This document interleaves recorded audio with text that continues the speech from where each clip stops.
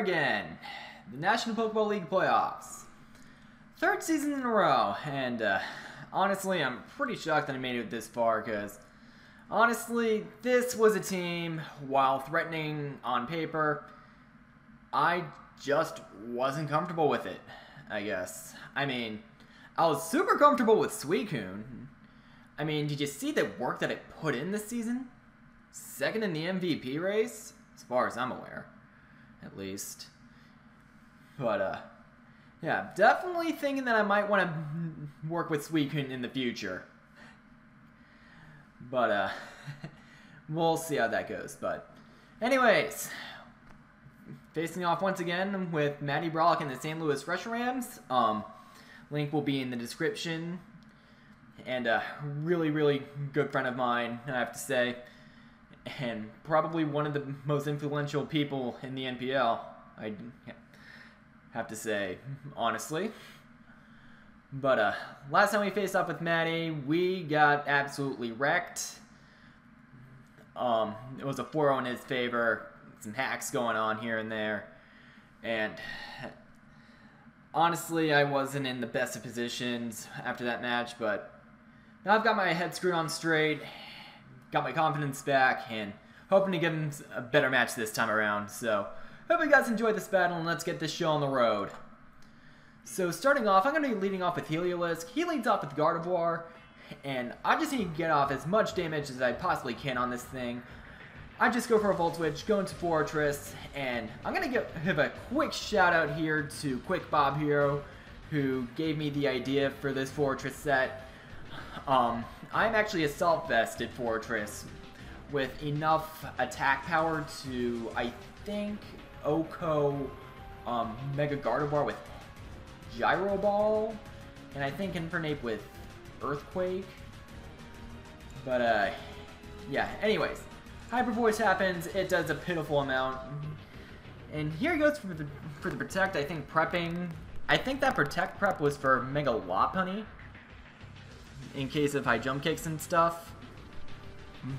But now out comes Rotom. I'm just going to go straight for a Volt Switch here.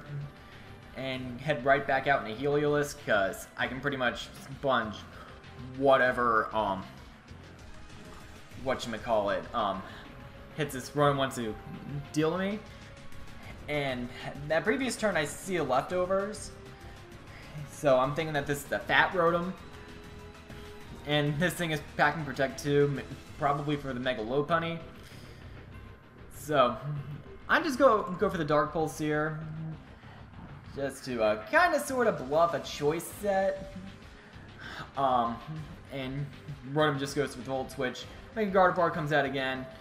And here I just get this Mega Gardevoir with a Volt Switch and go back out in the Forretress. who will take the Hyper Voice. And unfortunately, he's packing the HP Fire, so I can't knock this thing out with a, um, whatchamacallit, a Gyro Ball. But now I can send out my Mega Lopunny. Mega Gardevoir is weak enough. So I can just hit this thing up with a return and knock it straight out. And this is very fortunate for me. Um, Mega Gardevoir was a really big nuisance for the first match, and I was just fearing it this whole time during prep.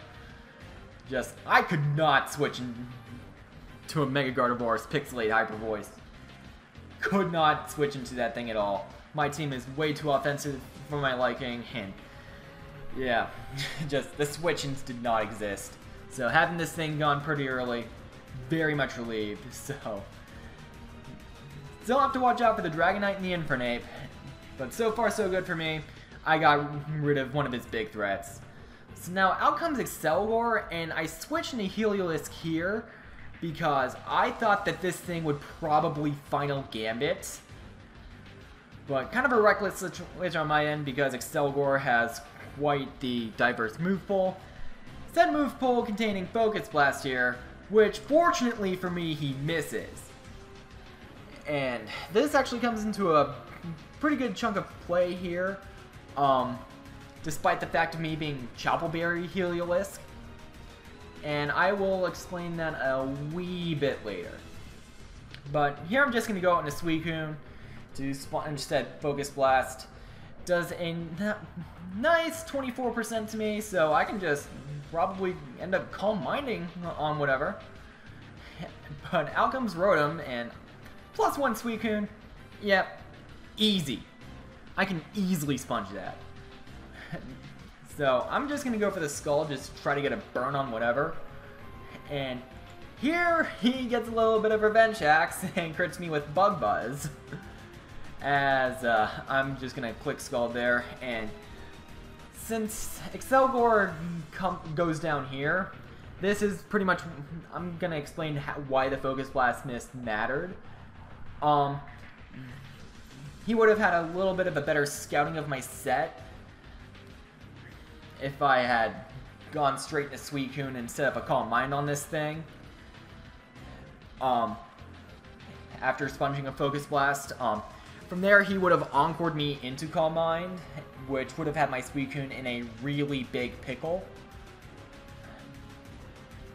But I guess the Bug Buzz crit um, kind of balances things out. Um, but yeah, having my Suicune locked into Calm Mind would have just opened up so many doors for Matty. It wouldn't. It would not have been funny, and I would have been in a really bad position if not for that fo Focus Blast missed or miss. But uh, tis a game of Mons that we play, hacks attacks. And the uh, Bug Buzz crit pretty much balances things out. So, uh, anyways, now it comes Infernape, and thanks to that crit, I am in range of a Grass Knot. Even at plus one, can't even touch, can't even live it. So, yeah. Unfortunate, but the game is what it is, so... I go for the Energy Ball expecting to switch into Donphan takes two, so definitely um, Assault Vested Donphan. And I'm just going to stack Sam here to get a nice little switch in a Mega Lopunny and try to take this thing on. Here he goes for the Ice Shard, and I'm like, ah! uh, I just, I could have subbed there, and I would have been in the best position ever. Ah. Uh, but I felt like he was just going to sack this thing off. Try to go for the Earthquake. But, uh, I guess I could have just thought about this turn a little bit more. And, uh, if I had gone for a sub there, it's gonna be a Mega Lopunny Destruction City. Ah. Uh, but alas, I go for the return, and we're tied 3-3, and here I reveal the sub, and I was just hoping that